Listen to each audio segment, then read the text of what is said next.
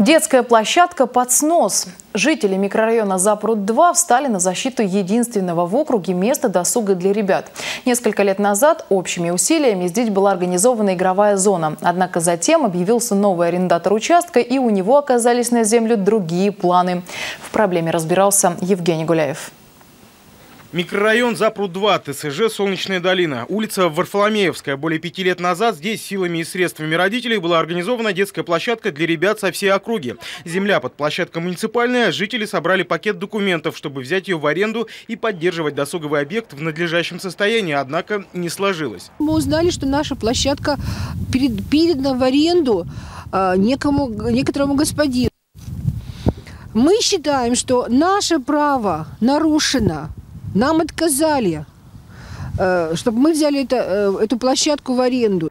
Площадка необычная, состоит как из детской игровой, так и из зоны для баскетбола и волейбола. По словам жителей, сюда сообща вложено более 5 миллионов рублей. Теперь все возведенные конструкции, возможно, уйдут под нож бульдозера нового арендатора. Беспокоятся люди. Он собирается демонтировать площадку. Э, несколько лет назад этот человек вышел к нам с предложением купить у него этот участок.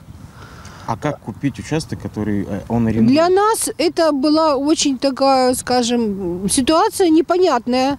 Поэтому мы считаем, что э, есть э, нарушение при выделении э, этого участка в собственность в арендную пользование данному человеку. У меня два ребенка, и они выросли на этой площадке. Вот сначала дочка старшая, теперь вот сын растет. И каждый вечер, приезжая со школы, они только и говорят о том, что мы встретимся с друзьями, погуляем, поиграем. Площадка подходит для всех разных возрастов. Здесь очень интересно и маленьким детям, и большим детям на корте. Можно поиграть в теннис, баскетбол, волейбол. Также ко мне приходят приходят гости, все мои племянники, и мы все идем дружно гулять на детскую площадку.